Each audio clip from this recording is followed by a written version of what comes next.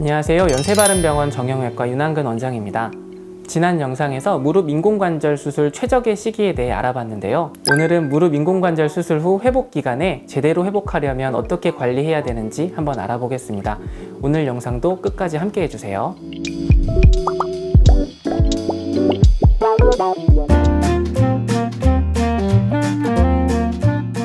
입원 기간은 환자분의 상태 및 경과에 따라 다르지만 최소한 일주일 정도 입원하는 것을 추천합니다. 수술 부위 상처 그리고 혈액 검사 결과 재활의 경과 등을 관찰해야 되기 때문입니다. 이후에는 환자분 증상 그리고 경과에 따라서 입원 기간을 조정하고 있습니다. 보통 수술 후 4주에서 6주 정도 되면 목발 없이 보행을 하게 되는데 수술 후 이따금씩 쑤시는 느낌은 수술 후 3개월 정도 지속될 수 있고 열감 및 붓기 등은 3개월이 지나도 지속될 수 있습니다. 보행은 수술 후 6개월 정도가 되었을 때 한 번에 1시간 정도 걷는 것을 목표로 연습을 하지만 환자분의 수술 전 무릎 상태, 나이, 근력 등에 따라 경과가 워낙 다르기 때문에 모든 재활 과정은 환자분 개개인에 맞춰 진행하는 것이 가장 이상적입니다.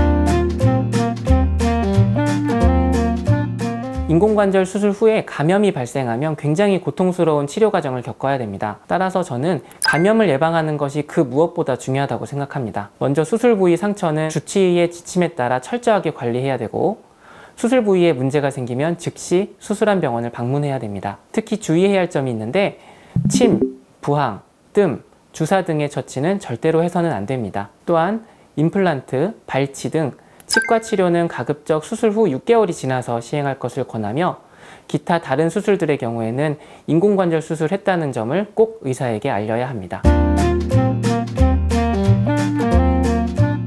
수술 후 초기에는 관절 운동 범위를 회복하는 운동에 초점을 맞추게 됩니다. 환자분들이 흔히 꺾기라고 부르며 수술 자체보다 더욱 두려워하시는 경우가 많은데요. 사실 대부분의 환자분들이 잘 해내시기 때문에 너무 걱정하지 않으셔도 된다는 말씀을 드리고 싶네요. 관절 운동에는 여러 가지 방법이 있기 때문에 이 영상에서 다 소개하기는 어렵지만 한 가지 방법을 말씀드려 보겠습니다. 침대의 양측 다리를 뻗고 앉은 상태에서 처음에는 손을 사용하지 않고 다리의 근력만으로 구부리다가 다리의 힘만으로 더 이상 구부러지지 않을 때 손을 이용해서 무릎을 조심스럽게 굽혀줍니다. 이때 약간의 통증이 느껴질 때까지 무릎을 구부려야 하고 통증이 약간 느껴지는 상태에서 10초 이상 각도를 유지해야 합니다.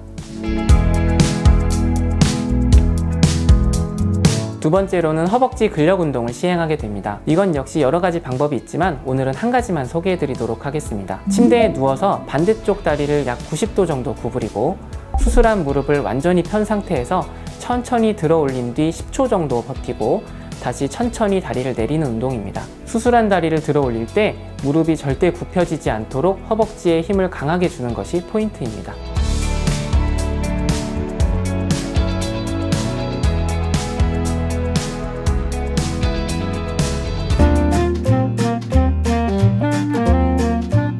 쪼그려 앉기, 양반다리, 무릎 꿇기 같은 바닥 생활은 피해야 됩니다. 간혹 바닥에 앉을 때 무릎을 펴고 앉으면 되는 것 아니냐라고 묻는 분들이 계신데요. 바닥에 앉거나 일어서려면 불가피하게 쪼그리는 자세가 나올 수밖에 없게 되기 때문에 좋지 않습니다. 바닥에 앉거나 바닥에 이불을 깔고 자는 생활 대신 의자, 침대, 소파, 식탁 등을 이용하는 생활 방식으로 바꾸는 것을 권합니다. 인공관절 수술 후에 통증이 많이 좋아졌다고 해서 모든 동작, 모든 행동이 다 허용되는 것은 아닙니다. 인공관절은 수명이 있기 때문에 조심스럽게 사용해야 최대한 오랫동안 건강하게 사용할 수 있습니다. 간혹 무릎에 좋다면서 도가니탕을 찾는 분들이 계십니다. 그러실 필요 없이 입맛에 맞는 음식으로 골고루 충분히 섭취하신다면 영양분이 부족하실 일은 없을 겁니다. 다만 인스턴트 음식이나 너무 기름진 음식 등을 많이 드시면 체중이 증가해서 무릎에 부담이 될 수 있기 때문에 주의하셔야 합니다. 오늘은 무릎 인공관절 수술 후에 관리법에 대해 알아봤습니다. 인공관절 수술을 앞두고 있거나 수술을 하셨다면 오늘 내용 꼭 기억하셔서 관리하시는 데 참고하셨으면 좋겠습니다. 구독, 좋아요 눌러주세요. 감사합니다.